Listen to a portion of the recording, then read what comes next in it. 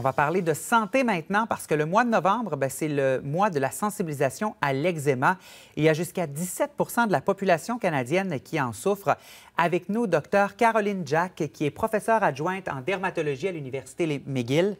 Bon début de journée. Merci. Merci beaucoup d'être avec nous ce matin. Euh, on parle d'eczéma. Les gens, bon, peut-être euh, entendent, en entendent un peu parler, mais concrètement, sous quelle forme ça peut se manifester l'eczéma quand on en souffre?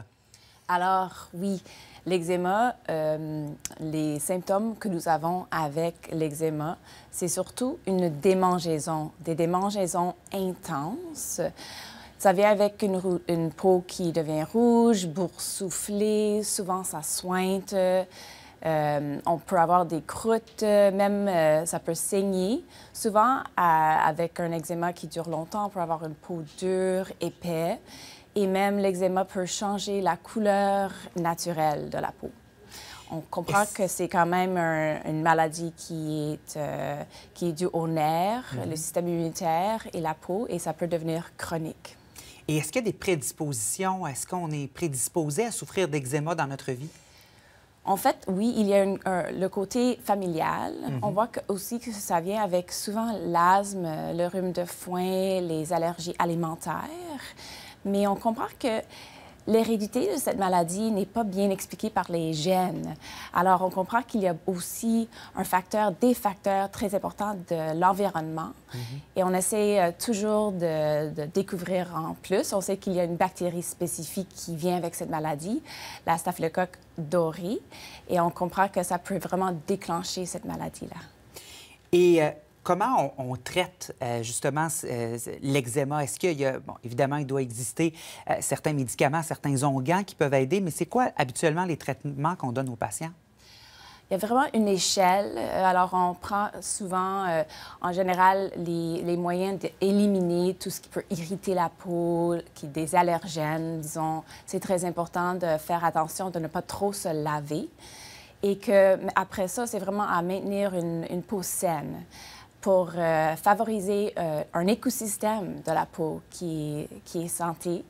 Et, des fois, euh, après ça, ça peut même être suffisant. Mais pour les patients qui ont vraiment une maladie assez modérée ou bien mm-hmm. sévère, il faut utiliser des, des traitements qui peuvent atténuer l'inflammation. Alors, on utilise euh, des médicaments pour euh, la mettre en rémission à travers la peau, mais souvent, ça prend des médicaments systémiques. On comprend qu'il faut traiter aussi la peau que le sang, les globules blancs dans le sang. Et alors que maintenant, on utilise beaucoup ces médicaments systémiques pour la mettre en rémission rapidement. Et c'est quoi les impacts sur la vie des gens qui en souffrent? Parce que oui, on parle de démangeaison, ça peut être désagréable lorsqu'on a ça longtemps, mais est-ce que ça, ça peut avoir d'autres effets sur leur santé? En fait, oui, ça peut être euh, souvent grave. On comprend que les démangeaisons, ça interfère avec le sommeil. Alors, sans être capable de dormir, les patients sont souvent euh, fatigués la journée, ont de la mhm. difficulté à concentrer. Euh, souvent, on voit que c'est des patients qui ont un risque élevé, deux fois la population avec euh, le risque de dépression, anxiété, troubles d'attention. Et souvent, la difficulté pour les patients, c'est de mettre les vêtements avec leur peau mhm. qui est sointe, qui est ouverte, qui saigne, alors qu'ils ont beaucoup de, de misère aller se présenter à l'école ou bien au, travail? Et euh, bon, il y a un défi peut-être aussi de diagnostic, de traitement. C'est quoi pour, pour les médecins traitants lorsqu'ils ont un patient? Parce que ça peut être seulement, on peut penser que c'est une plaie qui va se guérir seule. Euh, c'est quoi les défis pour les diagnostics? En fait, le défi, c'est souvent, c'est parce que c'est une maladie très variable. Mhm. Alors que chez les adultes, quand ça devient chronique, c'est une maladie qui peut se présenter même avec que de l'eczéma des mains ou le visage, et alors que ça change beaucoup à travers une vie. Surtout, euh, les médecins ont beaucoup de difficultés à mesurer cette maladie-là sans vraiment enlever tous les vêtements. Alors, ça prend euh, vraiment un examen euh, complet et que les peaux de couleur, ça peut masquer la mhm. rougeur. Les médecins mesurent cette maladie avec la rougeur de la peau. Sans ça, ils ont beaucoup de difficultés des fois à diagnostiquer ou même à mesurer la maladie. Parce qu'on parle quand même de 17% de la population au Canada qui souffre d'eczéma. C'est quand même un nombre important. Euh, vous êtes à l'Université McGill, vous faites évidemment des recherches. La recherche sur l'eczéma, on en est où, grosso modo, là-dedans?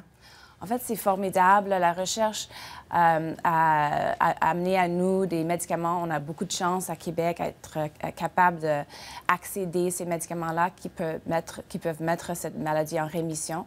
Nous autres, on, essaie de déterminer c'est quoi c'est quoi qu'on peut faire pour la mettre en rémission euh, complète. C'est quoi qu'on peut faire pour prévenir cette rémission. Et on étudie la balance, l'écosystème de la peau, où que le système immunitaire est toujours en train de se faire entraîner par ces bactéries-là. Alors, on veut savoir pourquoi cette bactérie, la Staphylococcus aureus, est tellement impliquée dans cette maladie-là. On aimerait que, euh, si on peut mieux contrôler euh, l'écosystème de la peau, on pourrait peut-être même prévenir la maladie. Donc, OK, donc on tente de découvrir euh, peut-être comment mieux cerner que la maladie atteint quelqu'un, si je comprends bien, des gens avec des prédispositions, par exemple? C'est ça. Et on, on, essaie de mieux encourager que la peau a un écosystème qui est saine. Alors qu'on vit avec euh, euh, une population de levures et de bactéries qui sont très bien pour nous. Et on aimerait favoriser cette, euh, écosystème. Avec des médicaments, maintenant, on comprend qu'ils peuvent rebalancer l'écosystème de la peau. Et alors que si on contrôle l'inflammation, on peut favoriser une peau saine. Alors, euh, donc, novembre, c'est le mois de sensibilisation pour l'eczéma. Il y a l'organisme Eczéma Québec qui peut peuvent aider les gens à la maison. Donc, avec certaines informations, le site Web est apparu en bas d'écran. Docteur Caroline Jack, merci beaucoup d'être passée nous voir ce matin. Merci à vous. Bonne journée. Au revoir.